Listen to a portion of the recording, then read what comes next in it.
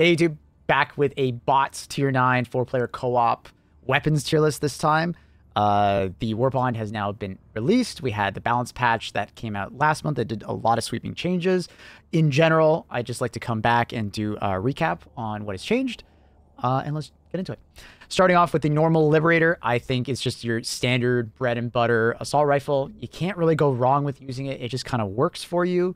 Um, you know, you're probably going to move on to something else, uh, maybe something that does something more special, like uh, with the limited ammo with the sickle. But you know, it just it is what it is. Uh, Liberator Penetrator, uh, I want to put is like somewhere in the B tier. I probably a little bit higher.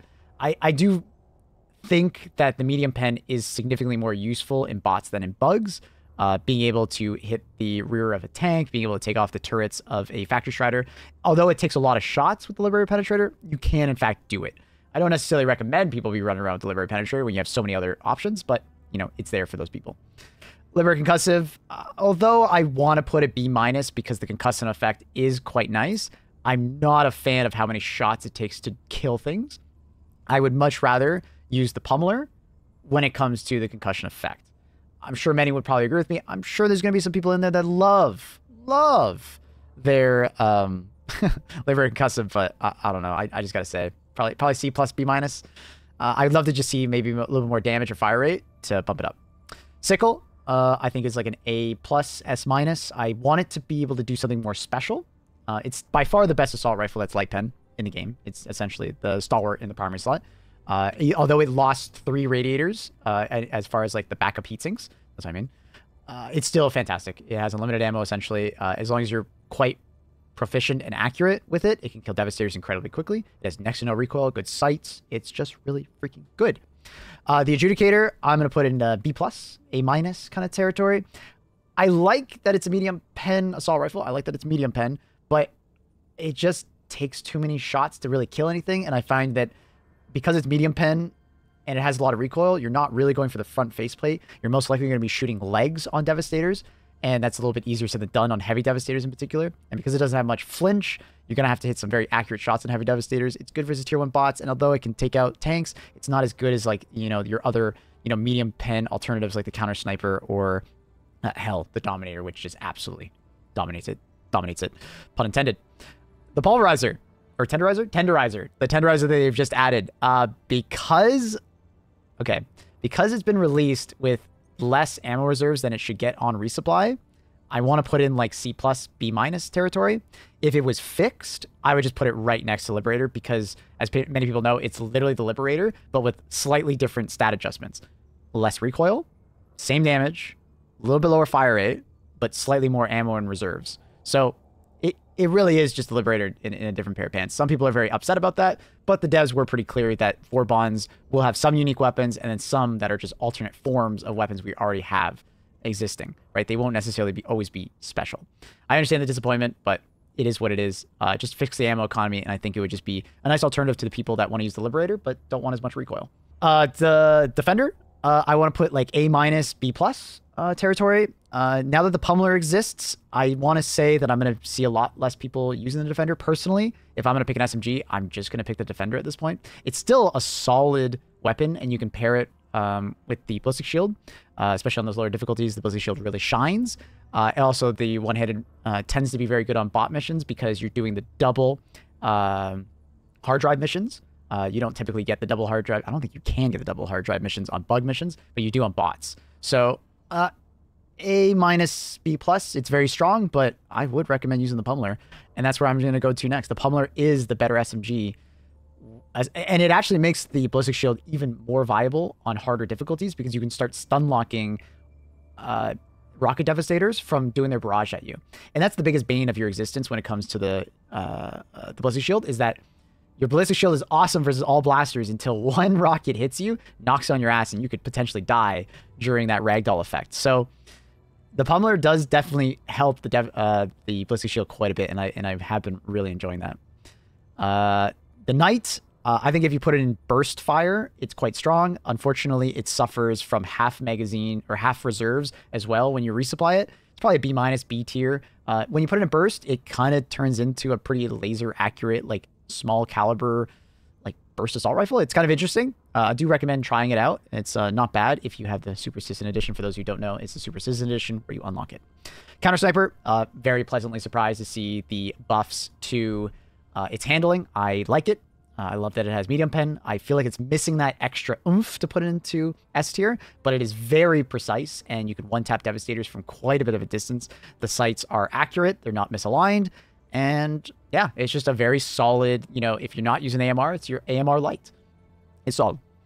Uh, the diligence, uh, I'm gonna put like B plus A tier. Um, I at this point, I feel like the normal diligence doesn't quite have as much of a home now that the counter sniper feels so good. Uh, you're gonna take on, I believe it's always two shots, sometimes three, depending on distance, uh, to the head with the diligence. I think it's always two. I, I believe it's always two. Uh, but like, I would rather just one shot. Um, the, the downsides of having the, the counter sniper are not nearly as seen now that like it handles so well. If the handling on the uh, counter sniper really bothers you, doing that extra shot might make up for that because the handling on the diligence is just fine. Going into another weapon that doesn't have the best handling, but is insanely powerful, both from stagger and damage perspective. It's a Dominator. I think we all knew that it was going to be up here. It's just insanely good. Uh, it, there's no wrong way of using it. Like the meta loadout at the moment is usually like autocannon dominator, and there's a reason for it. When your autocannon runs out of ammo, when you need to deal with you know a tank or a, a, a Hulk from behind or a devastator, like you're, you're, just this is what you use. It staggers on every hit and has a good fire rate. If you put it in first person or crouch in third person, it has like next to no recoil. It's disgusting. It's really, really, really, really good to the point where it might receive another nerf in the future. I would not be surprised. It's so good compared to its competition. Uh, crossbow, I'm gonna put like C plus B minus. Uh, the explosive damage uh, radius being reduced does affect it, but not as much as with bugs, in my opinion. Um, the stagger is noticeable, but it doesn't seem to be long enough. It's not enough stagger to be very beneficial to the weapon, unfortunately, which is why I'm not going to put it higher. Uh, it is nice in four player co op because you can activate bot drops from long distance by like shooting this at a you know, a very long distance area. I think it has like a max range of like 250, 300 meters. So if you get the arc right, you can kill an enemy from very long distance, activate that bot drop, and that bot drop's not on you. Those enemies are so far away from you, they'll most likely despawn before they even attempt to get to you. The Eruptor is a hot topic as of late because they just removed the shrapnel on it and gave it 40 additional damage. I don't believe it was enough of a damage increase to equal out at least even a little bit of the shrapnel. There's no doubt that the shrapnel was incredibly powerful to the point where it was basically a support weapon inside your primary slot. I'm definitely still seeing one shots on the Devastators, hit them in the face plate, on the eye. Uh, you can still one shot uh, Striders sometimes. Uh, you want to get that like leg slash like crotch area on the Striders. Um, it's still fantastic utility versus Fabricators. Uh, it can deal with tanks from behind because it's explosive damage. My issue at this point is that I'm not really going to be using it, especially if they fix the animation cancel that you can do to make it fire faster. So I find myself using it with like the laser cannon, AMR, HMG, so on and so forth, right? Those kind of weapons where they're good in bot missions, but I still want to be able to reliably take out fabricators at a distance. And for that reason, I'm going to put the Eruptor still in A tier because it just has so much utility compared to everything around it. Although the ad clear isn't as powerful, the utility is, immen- is immense. It really is. Um, it, it, enables you to take a secondary that you more prefer, and you can now kill fabricators from much farther distances. I know there's going to be those people, just use the grenade pistol. The grenade pistol has far worse ammo economy because you only get two grenades back on resupply or one from a ground brick. But also, because that arch, you're not really able to reliably kill a fabricator at long distance. I know there's going to be that person that says, well, Maple, just be better at the game. I can do it from 150 meters. That's great, but not everybody's as good as you did. All right. So the Eruptor being able to snipe fabricators from long distances is very useful when you're bringing a support weapon that isn't just the autocannon. I understand a lot of people are using the autocannon, but not everybody wants to. So this really enables those kind of playstyles, and it's very powerful from that standpoint. And it's still pretty good in bot missions for killing enemies because there's just less dense, uh, like mob density. All right, going into the Blitzer, uh, solid B tier. Um, I, it lacks range for me to want to put it closer, uh, higher up. The 50% fire increase was really nice, but it doesn't have enough range for me to feel comfortable using it in bot missions all the time unless you're heavily relying on your other weapon, like your support weapon, to take care of everything else. Uh, for that reason, I don't feel like it deserves to be really that much higher. But, you know, I'm sure that some people absolutely adore the stagger, and just being able to stagger units is quite powerful, especially when those berserkers are right up in your face. You never have to reload. You know, you have constant damage and so forth. Uh, Breaker Spray and Pray, I think, is a pretty obvious like needs a buff bad in comparison to the uh the competition or just C tier. I'm sure some people will use it, but it handles like a boat, and because they buff the Incendiary Breaker so much, it has an identity crisis. It does less damage than the um, Incendiary Breaker, and it doesn't have anything special to it. So at this point, it has an identity crisis. It needs something. Uh, breaker, the just the normal Breaker, I believe is like a B plus, A minus kind of weapon. I think for now I'm gonna put a B plus. It's still strong. It can mag dump. It does a lot of damage, uh, but it lacks that special element other than just being able to do a lot of damage very fast. It's not as useful versus bots than it is for bugs because you need to be more precise on average. And having stagger is incredibly important when we're talking about bots. Talking about the Incendiary Breaker, I want to put it in the A minus tier. It, this is a bit of a tough one for me, and I've been kind of juggling this in my head and talking about it a fair bit on stream. Where now that incendiary damage is fixed, it is useful for like spraying at a bunch of tier one bots, and they just fall over. As long as one pellet hits them, they fall over, and it's fairly useful for like lighting enemies on fire at a distance while you're like running away and weakening them over time. And it's fairly good for taking out berserkers for that same situation, right? You light them all on fire, they will slowly tick, and as they get towards you, you just keep lighting them on fire, and they will eventually die, right? So for a certain play style, I think it's fairly useful. And for like team play, weakening a bunch of enemies that are in front of you and taking out all those tier one bots so they're less likely to do a bot drop, you know, I see the potential of being fairly useful for a team. Uh, like if you see a bot drop come in, you can just spray the undercarriage. All those tier one bots will die immediately, which is fairly useful. But you know, can you do that with a nade or can you do that with your support weapon? Can you do that with like X, Y, or Z weapon? Like even a eruptor can do that. So I struggle with this one. I want to put it more towards A. I would prefer using it over the breaker because at least it has that incendiary damage. But because bots have so much overall HP, I can't put it any higher. And I totally understand if you disagree with me on this and you want to put it lower. I think it's fair. All right, Pummeler. I'm gonna Pummeler and the Punisher are like two weapons that have an amazing stagger. And even though it's like one of the first weapons, I think it's literally the first weapon you unlock in the first war bond, it's still super good versus bots. It has so much stagger that, you know, if you're not someone who's very accurate as a player, you know, you can kind of just spray this at enemies and it works for you. It does work.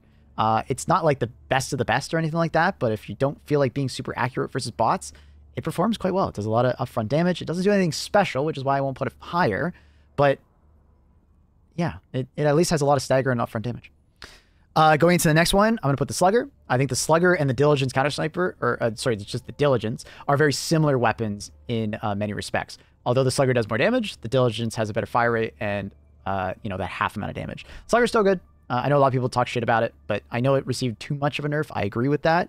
I wish they would add a little bit of stagger back to it, but it's still a strong contender for like a good bot weapon, right? So if like the diligence is like B plus A minus, I think the slugger just slightly ahead of it. I would rather use the slugger over the diligence. I think overall, uh, but you know, depending on the person, if you really enjoy the sights and the and the zoom of the diligence, I wouldn't be surprised if you like swap those around, right? But personally, I would rather use the slugger for like those zerkers that are running me down and stuff like that because you can still one tap uh, devastators and one tap.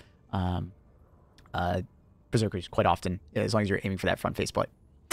Uh, so next, going into the Punisher Plasma, another A tier weapon. I want to put it right next to the Plasma Punisher and the Punisher. Or yeah, the Plasma Punisher and the Punisher. Ah, uh, tongue twister. Uh, great weapon for bots. Uh, little niche. I, I will admit, some people won't agree with me on this, but now that they've increased the overall damage splash radius and they've increased uh, the bullet velocity of the weapon, it's a lot more usable. It lacks range, but I think for that mid range, anything between 50 to zero meters, or actually maybe like three, four meters, because you don't want to kill yourself with it, it's very powerful, right? You are bullying devastators, you're bullying striders, you're absolutely one shotting tier one bots. It's very good for those clusters of berserkers. It's a it's a decent weapon. I do enjoy using it versus bots. Not always my go-to, but I do like it quite a bit. All right, going into the purifier. This will be a little bit of a controversial one, and I'm sure people will talk about it in the comments, and I want to hear your opinions about it. I do.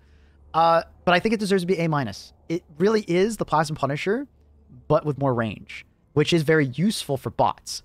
But I don't think the weapon is working as intended at the moment. It says that it's medium pen and explosive damage, but from my testing and gameplay at the moment, it seems like the two weapons, Plasma Punisher and the Purifier, are essentially doing the same thing. Uh, like the same damage, same everything. And the way I can kind of almost prove that the medium pen isn't working is if you shoot a Strider's turrets underneath, you know, the Gatling turrets, they're supposed to die to medium pen. So if you take any medium pen weapon, the Senator, uh, Eruptor, uh, counter sniper, so on and so forth, the adjudicator, enough medium pen rounds, you'll kill it. Problem is with the purifier, I used my whole reserves in a tier four bot mission. All I did was sit there shooting at the turrets, like one in particular, and I couldn't kill it. I think it might not be working as intended. I believe it would probably be like an A tier weapon and a lot stronger if it was working, because you would more reliably kill devastators and striders in like one to two shots. But because of that, you're more or less just using it as a Plasma Punisher at longer ranges. So you're taking like three to four shots on average for a devastator, two shots for a um, a factory strider. So I'd be interested to see what the uh, the devs uh, notice about this weapon because I don't believe the medium pen is working, but I do believe it deserves to be an A tier for bots. It is very good for bullying bots at range, and it can kill them at much farther ranges than the Plasma Punisher, but it just fires slower right? So make sure you bring some kind of secondary with you that can deal with the bots that get close. But, you know, this thing uh, on average, I think was three shotting Zerkers, you know, aim for like the chest, uh, stomach area. Like that's not bad at all. Not as good as the Plasma Punisher at close range, but it at least has more range. Scorcher, no surprise, right up there next to the Dominator. Um, if the if the Purifier is a mixture of two weapons, it would be the Scorcher and the Plasma Punisher. It kind of melt like the Scorcher is just that longer range, easy to use. It just fires when you click the button uh, kind of weapon. You don't always need to be accurate with it, but it does reward you for being accurate versus Devastators. It takes less shots. Uh, it's just strong. It's very good for taking out tanks at range or taking out um, um, taking out like laser turrets. Just get a little bit of a flank, shoot at the radi uh, the back half, the radiator side of the turret, and you will take it out in about a mag. It's just super strong, and a lot of people really like it, and I can see why. It's super good. The Scythe, uh, I'm going to put somewhere in B tier. I think it just deserves to be next to the Liberator and stuff. Although it has uh, unlimited ammo, and the extra damage buffs have been nice, I think it needs a better scope.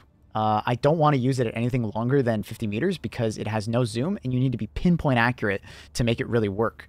Um, I might be even being a little bit too kind to it because uh, until they give it like at least a sickle like scope, I don't see it really leaving this like bottom of the B tier. Uh, I hope they look at the scythe and just give it a little bit more love or just a little more fire time that would also help it a lot because it overheats a lot faster than uh, the other uh, laser weapons, unfortunately. All right, going into the dagger.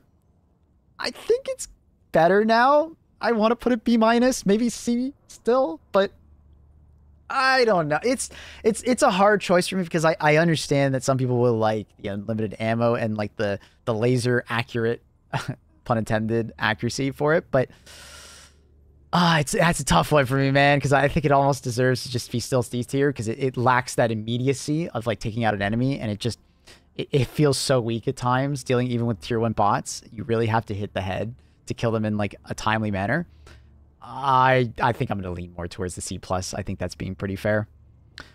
All right, uh, with the Redeemer's nerf, I think I'm gonna be putting it in the A tier solid. I don't think it's quite the S tier that it once was. Uh, I hope in the future that more sidearms feel like the Redeemer because I still think it's overall the best sidearm for bots, but it has a lot more competition now, but not enough in my opinion.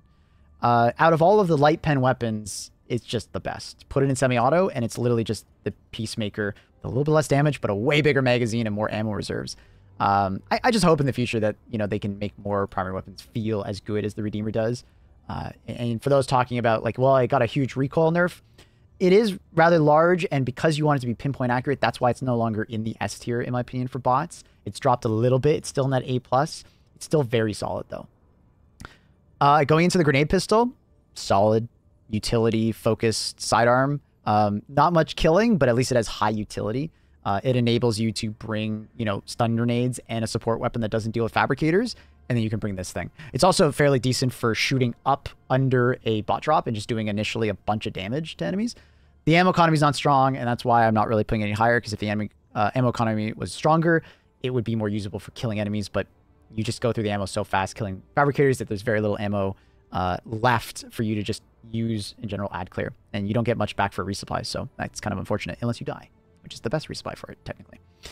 Uh, the Peacemaker, solid solid sidearm. It just it just is solid. I I wish it did a little bit more damage, but then it would be stepping on the uh, toes of the verdict, which are I'll just place it right now is like a solid like middle A uh, sidearm. I've been quite enjoying it for bot missions. It doesn't quite have the ammo economy of the Redeemer, which is why I'm not putting it as high as the Redeemer. but at least it has like good stopping power and on it pretty reliably one taps tier one bots, which is nice. I sometimes just go for the double tap, you know, to fire two shots at them regardless, just because if you hit them in the arms or any of their appendages, it won't one shot. You need to hit them like head, chest area. It seems to get the one one shot reliably. All right, Senator. Um, some people will be pleased to see this all the way up here with the speed loader and the extra damage. Yeah, it's a it's a solid option for bots. Uh, you can get those one taps. You can deal with Strider's uh, turrets if you run or don't have a medium pen weapon or a support weapon that can deal with it. Uh, it's, it's just solid. I still don't absolutely love it in all situations, but it's it's seeing a lot more usage out of me, and I see a lot more people liking it and using it. Although I don't love it as much for bugs, I do love it a lot more for bots. It's it's it's definitely uh, looking a lot better. Overall, I'm pretty happy with the placement of these weapons. Uh, some things that could change, and I would totally be thinking that you're fair for saying it, is like Purifier going down to B plus. Uh, I just highly recommend giving it a fair shake. I know Reddit has been absolutely destroying it as a weapon, but give it a fair shake. It, you'll see that it really is just the Plasma Punisher with more range, and I think uh, if they address the problem with the medium pen and not being able to kill Strider turrets, I could see it going even higher in the A tier.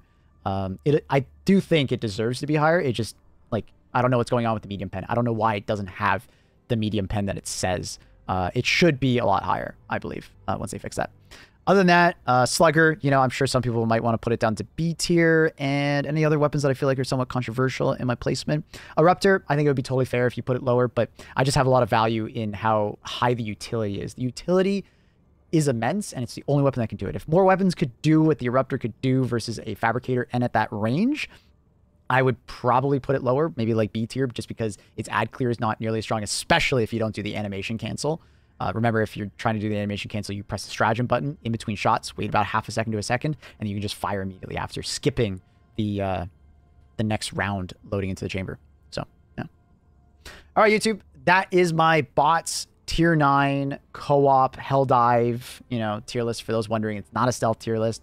Uh, let me know what you guys think in the comments down below. Appreciate the uh, the view. Consider dropping a like and a comment.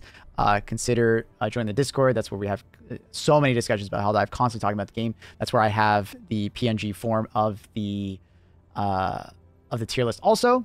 And if you'd like come by and talk to me on stream. I stream basically every single day in the hell Helldiver section. So absolutely love this game. Still playing it every day. I, I can't get enough of it. Love it.